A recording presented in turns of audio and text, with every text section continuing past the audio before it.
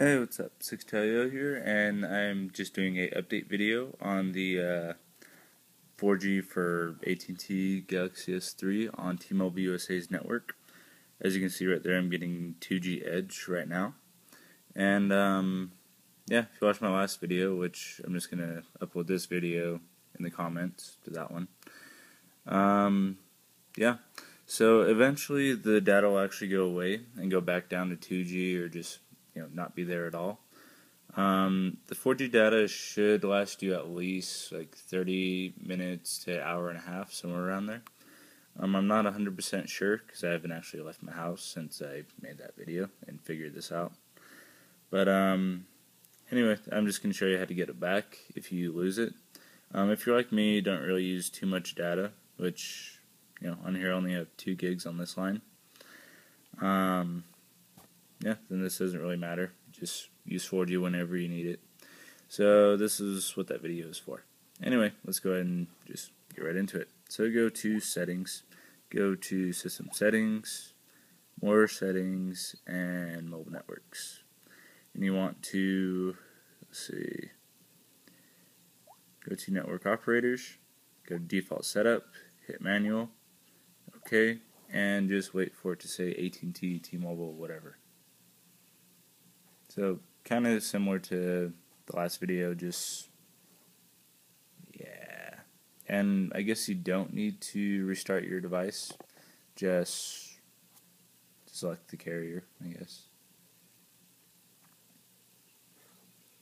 Um, I think that the uh, Galaxy Note 2 and the S3 is optimized mainly in the US for AT&T or T-Mobile.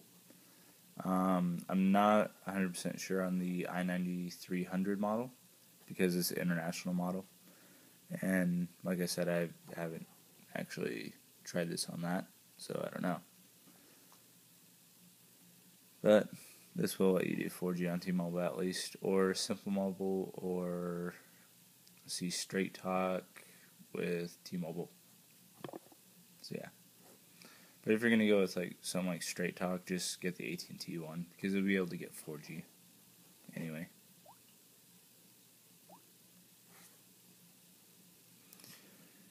So where it says searching, it can actually take a little bit. Um, so you kind of just have to be patient. Okay, now it says T-Mobile.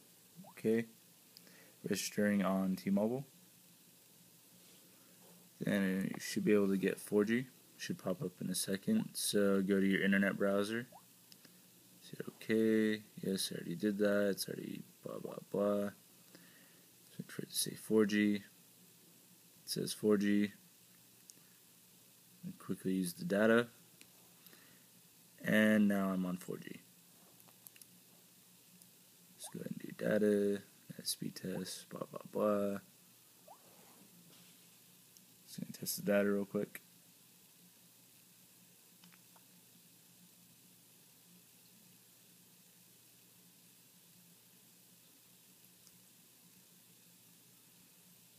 And as you can see, I'm at 10.29 megabits per second, uh, which is pretty pretty high, much higher than uh, 3G, which I think stops at 7 megabits per second.